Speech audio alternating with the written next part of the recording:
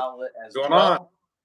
Today we are going to be looking at this machine here. It is the uh, La Spaz or La Spaziale. Uh, it's the two group AV espresso machine. It's commercial.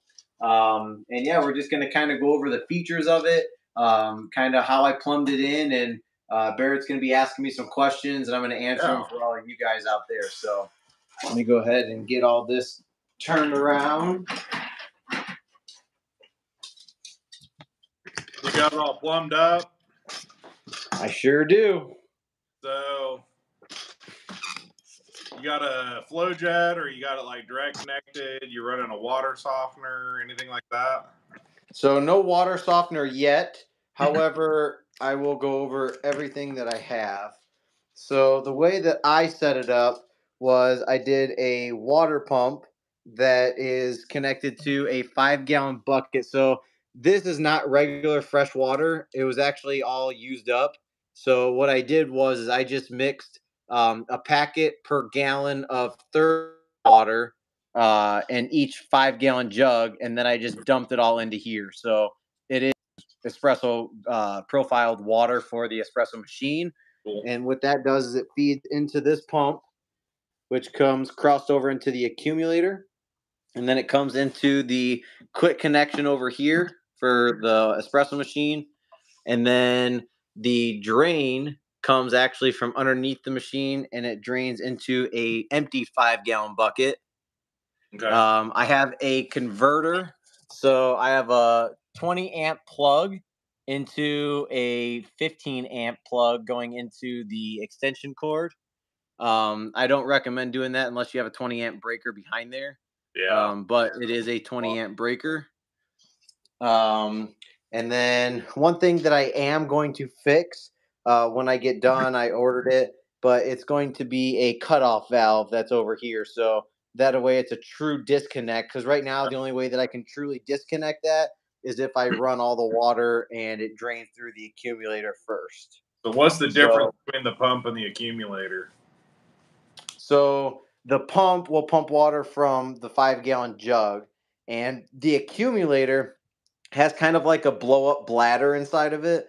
And what that does is it regulates the pressure. So Okay. when it comes, because the pump will have sporadic pressures that go through, and that's not good for the stability of an espresso machine or the life of an espresso machine. So when you put an accumulator to it, then it actually accumulates the amount of water that it needs or takes for the espresso machine to stay up on pressure. Otherwise, you'd see this fluctuate, and that would be bad. Yeah. Very cool. So, So Go ahead. pulling some shots. absolutely. P group, it looks like. Yep. So it's a two group espresso machine, and uh, it is a. So most people, when they think of commercial, they think of 58 millimeter. This is a 53 millimeter. Um, however, uh, I do have a Breville Barista Express, and it's a 54 millimeter, and this fits perfectly fine uh, when tamping. Obviously, you'd want probably a 53.5 or something like that Yeah. but this does the job until I get one in. Um, and then cup warmer. Cup warmer is super hot. So I've had these cups on the cup warmer for probably 15 to 20 minutes after the machine was already like super hot. yeah. And I'm talking, I stacked these on purpose. So I did it like this and like this for two reasons. First, this cup that's just solely on the actual tray is so hot that like it's hard to hold this right now. That's That's how hot this thing gets. Like very, very hot. So I wanted to see is if I stacked it, does this one still get super hot? And yeah, it does. Not as hot. as these two, but it gets pretty hot. Looks like a Um, pretty nice large tray where if you did two layers of cups on the top, I mean, you could probably fit Oh yeah, I'm, I'm thinking plus cups. yeah, let's say 2, 4, 6, 12, 18, 24, 36, probably like 36 to 40 cups. That's a lot of cups. And you think if you're at an event, Nuova Musica, I mean, I couldn't fit that many cups. I could maybe fit about eight to ten of those tops stacked. Yeah, and if you think about it, um, if you were to actually go a step further, uh, a lot of people will actually not buy these for at home use. Yeah. But let's say you stack paper cups on, I wouldn't do plastic cups, obviously, but paper cups all along there, you could fit hundreds of paper cups on there and just stack them. yep. So um, super nice. It's got a really nice dis- uh, display up here. So it's just LCD or LED right through here. So is it volumetric? Yep. So this will actually it's time auto uh, auto volumetric. Yeah. Um, it's not by obviously by milliliter, grams, or anything like that. Yeah, but it does do it by time. So the cool thing is, is you can use this button uh, right here, this little red button. Yeah, what are all four of those buttons? So they're pre.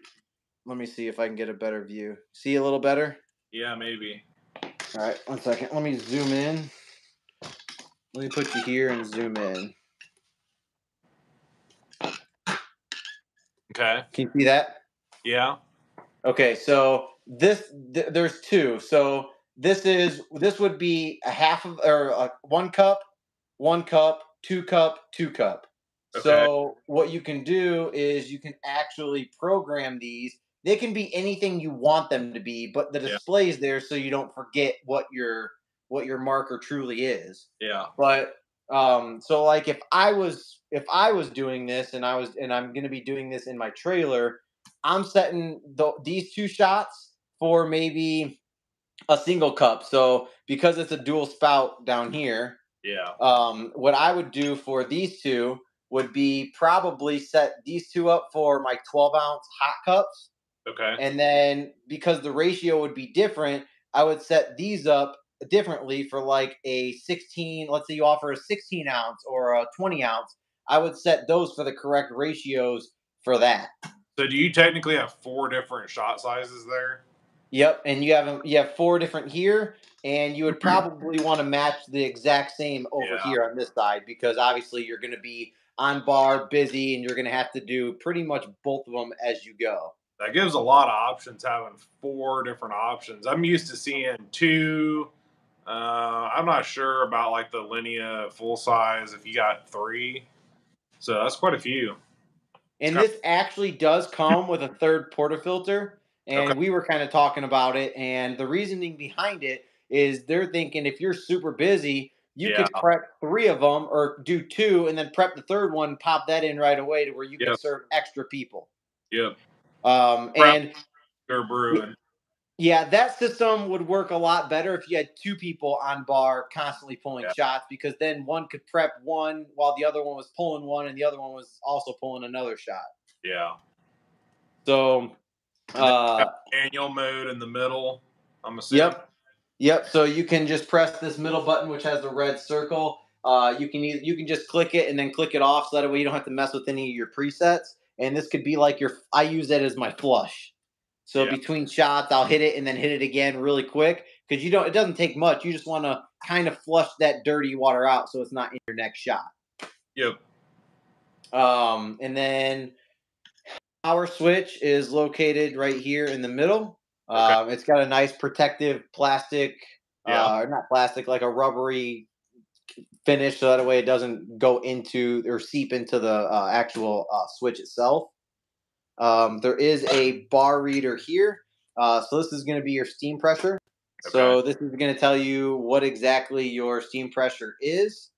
And on this side of the machine, you're going to see that there is a brew bar pressure. Okay. Um, and something to note that's a little bit different than the Linea that I have that I use for my trailer right now um, is that this actually sits between uh, La Spaziale actually recommends that this sits between one and five Okay. or no one and four so they their pressure always sits a little bit lower and then when you pull the shot it goes up to pressure because it does kind of a light pre-infusion Okay. um so the meaning or the the thought behind that is is it's going to give a soft pre-infusion to your puck so it's not going to jet water so fast to where you're not going to get uh, an uneven extraction it's going to be a lot more even extraction every time you pull a shot Yeah. um So on the drip, drip day didn't come off. It's plumbed. Uh, so yeah, it, it is plumbed. Um, if you do want to clean it, Uh, it's super easy just to completely remove it. Uh, okay, so it removes nice. Yep. I wasn't sure about that. I kind of figured, but what It comes off so that way you can go in between here and clean in between the grates. Uh, because obviously being plumbed in, you're still going to have some residue on your tray that you're going to want to clean at the end of the night. okay. So um, this espresso machine, if I'm not mistaken, I think it's like seven or eight grand. Yeah. Um, but for think sit and think about it for a second. My Linea was that I use is pretty much like a six to or seven thousand dollar machine. The Yeah. price went up on them, and it's a one group, and it's really not for heavy duty commercial use. It's pretty much pop up only if you're only serving, I don't know, maybe thirty to sixty people tops.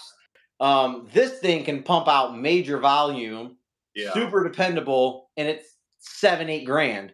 So Yeah. like it's Good price. Yeah, two groups. You have two gooseneck steam arms.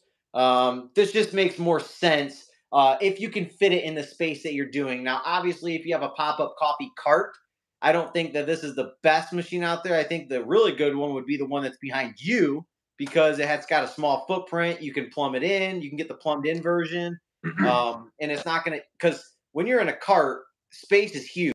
Yeah, it really Well, is. That's why I was going in a next on who this is for. If you'd even consider it for a cart, it's probably pretty heavy. It's probably Yeah. So this would be I would say this is for uh like a small coffee shop or any size trailer is what I would say this would be for. There's also an S9 which comes with the digital display on top. It's a little bit more temperature stability. Um, you're going to pay a little bit more for it, but best bang for your buck for sure is the S8. Uh, it's definitely. I mean, I just got it plumbed and hooked up today, so uh, I've been pulling a couple shots. I pulled a couple shots while I was on uh, on video with you earlier. Um, but so far, so good. I really enjoy it. The steam pressure. Uh, let me just get a close up of the steam. knobs were on the bottom. Those two knobs are actually dials. And then there's three knobs on the top. Two of them are for steam. And the middle one, I think, is for hot water. This is this a pretty good view right here? Yeah. All right, watch how strong this thing is. That's a lot of steam. On demand, perfect. So, I mean, you have you have a ton of pressure that this machine puts out. And you're going to steam milk. I mean, I steam milk with you and what did it froth in 6 seconds? Yeah, it didn't take very long at all. Super quick machine, um, super easy to plumb in once you have all the right parts. I'm gonna make a setup guide, um, and then um, I'll make a video on that. So that way, if you are doing this at home, uh, it'll just be a little, bit easier for you to hook that up. If Show you did want, water. what's that? Show the hot water real quick. Oh, the hot water spout. Yeah. So that works really good. Oh yeah. So that's just the pump kicking in. Okay. and then the accumulator, and then it kicked right off. So let me uh I'll actually pull a shot. So I'll do today, I'll just prep one with the DF83. Okay. Uh so you can kind of get is that good lighting? Yeah, not bad. All right. So I already have 18 grams dialed in. Uh, just bear with me. I don't have the 53 millimeter, so I'm kind of just going with a 58 collar and just trying to do it as best as I can without spilling everywhere.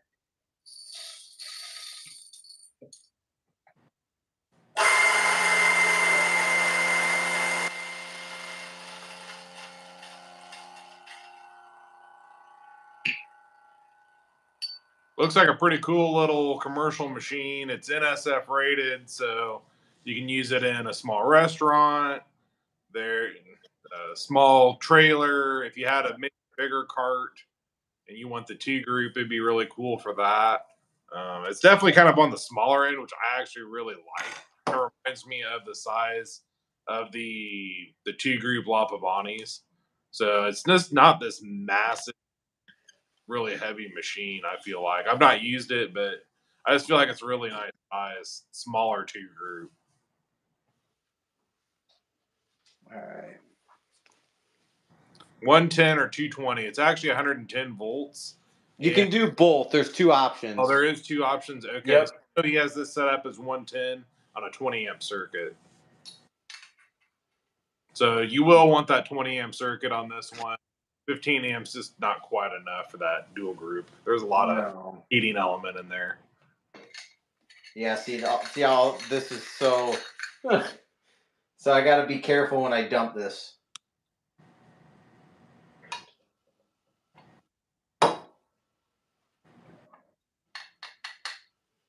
Hey, it works. Pre- it works decent for what I have. All right. So we're just gonna go ahead and obviously when you're in a commercial setting, you would just direct dose, but I don't have that set up in here right now. Yeah, if you got, I don't know, grinder, but depending on the grinder, you could direct dose into that portafilter. You might need to get one made for 53 millimeter, but seems like 58 is kind of the common one. But I do know that there's a lot of 53s out there in commercial cafes. So It's just kind of hard because I don't have the right tools, but it still works. yeah, All right. Kind of set you up over here. Probably a good view right here. yeah, nice view. You can see the cup. But I'll actually probably lift this up a tad bit so that way you can see the actual coffee come out. Because I do want to show you how nice and soft the shots pull. Uh, because that soft pre-infusion in the beginning is it's definitely going to be a lifesaver for um, for the quality of your coffee, and you're not jetting a crap ton of. So all that steam that came out, it's because it built up a lot of pressure. So you always want to get rid of that steam because it's not good um, when you pull a shot. when it hits the puck, Yeah, it'll completely destroy that puck. that's how this Musica is as well. It has a nice built-in pre-infusion, so that's pretty cool. If you had, I don't have a bottomless for this, but if you did, you could see where it's just kind of just out the bottom. And then all of a sudden, you'll hear that pump kick on, and you'll see it all come out. Can you Real- see that? Fusion, really nice puck when you pull it out. Hopefully you can see that shot pretty well.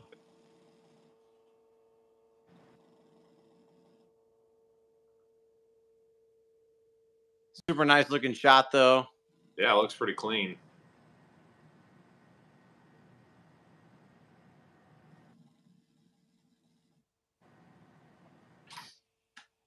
Pretty close. Maybe a little over, but A little over. I didn't I I changed the grind size since the last shot. Um, but this one probably could have been a little bit finer. But other than that, I mean it pulls super nice. Um, as you saw, it was like it didn't like just jet out like it normally would. It kind of stalled for a second. cool. So, like a day, let's say you're coming in and you're wanting to set up your trailer. Like I know the coffee shops, they'll come in, they'll pull a few shots and dump them. Uh, programming your volume setting pretty easy. Yeah. So uh, the way that you would program it is, let me just bring this down here. All right. So the way that you would program is super simple. Uh, all you do is you come up, you hold the middle button here, Okay. and then it'll take a second, uh, and then you'll start to see that they blink. So see how it's blinking right now. Um, this cup actually turned off because I already have a preset here. Okay. So it's telling you you can still press this button, but you're going to override whatever was preset. okay. Um, the ones that are illuminated are the ones that you can use that don't have a preset. They're just factory still. okay. Um, and then okay, now what you do is is uh, you have that perfect shot. You know it's exactly what you want. You press that, and it'll automatically start the shot for you. Okay. Um, and then once the shot pulls, you're still going to get this screen. And the way that you save it and get out of it is just press and hold the button again. Okay. And then once all the cups will illuminate and it's solid, Right. It'll then be completely stored, set, and you're good to go for the rest of the day. Um, unless you have to change the grind size, then maybe you have to make a couple adjustments. But super simple to to correct as you're going through a busy Looks work. pretty easy. Yeah, that's kind of what I was expecting. So a lot of people, if you're going to use that function, you'll probably come in, you'll probably dial. it for your game. That way, you can just really crank out them shots. You're not one to think about it a whole lot. I mean, you could, but if you want uh, maybe build people helping you out, getting that dialed in, it's pretty nice. And Look- then I can just show you real quick how simple it is. So the nice thing about commercial machines is the group head gets so hot that I'll put this on here so I'm not dripping coffee everywhere. But it gets so hot that the puck is almost always clean when you dump it. That's nice. So saves a lot of time. Um, I always just like to click the button with this underneath and then unclick it and then boom. So now it purges and you get to clean your portafilter uh, all in one go. Yep, that's perfect. So uh, then you can just wipe the shower screen and then lock it back in. Uh, they are going to be a little bit stiff. Um, this one is over more, but I was trying to get it a little bit worked out. Um, it's not uncommon that this isn't going to be directly at six o'clock like it says that it should be, or videos that you might see, because the group head gasket's still uh, very new and it's going to be super tight because it's got to it's got to work itself in. Um, so pretty much like anything, uh, you gotta you gotta just kind of go with it. Because for me, just going right here, that's where it wants to stay. But like if I pressure it a little bit more, which you're not going to do in a hurry, it I can get it to here without putting a lot of effort in, and we still have about here to go. And So don't panic. Nothing's wrong with your machine. It's supposed to be like that. yeah. Um, just I know that's going to be a lot of questions, and it's a lot of questions we have with a lot of our residential espresso machines. When they get it, they're like, "It's not coming to six. It's not coming to six o'clock. It's it's really just stopping at seven o'clock." But it's supposed to be like that. So Yeah, you need to break it in for a few weeks. And a lot of times people they put them in when it's cold too. And when it's really cold, it just doesn't have as much flex in it. So I mean this one was kind of the same. It's it's locking in pretty good in center now, but yeah. Usually it's a little bit off. Not a big deal. You could probably get some silicone gaskets eventually for probably twenty bucks. That's pretty cheap to upgrade. all right, so I'm going to read some of the comments here. Yeah, one person said it looks like the mini Vivaldi. It's very similar to that larger T group, but yeah, very similar. Any other questions? go through. Let's see.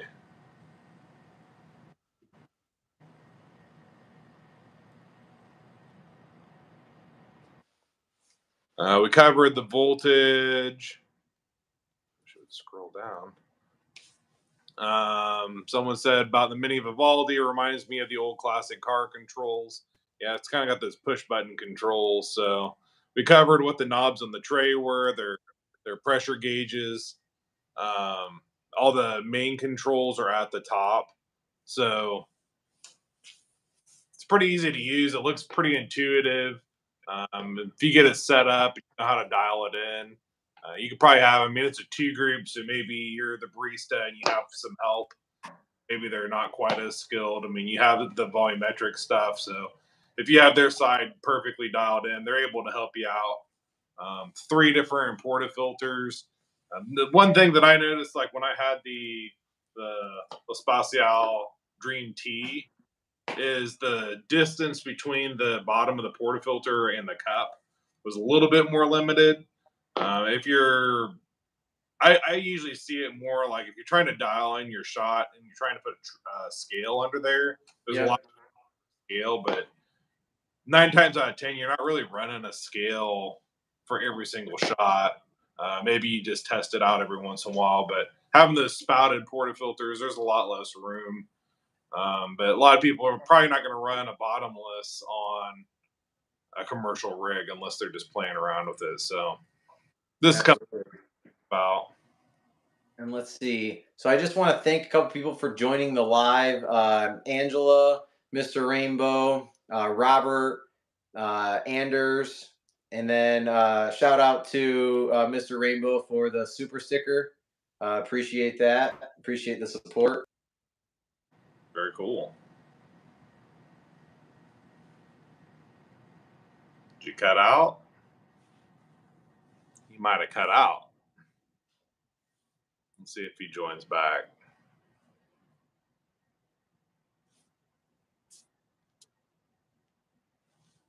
Because I don't think I cut out.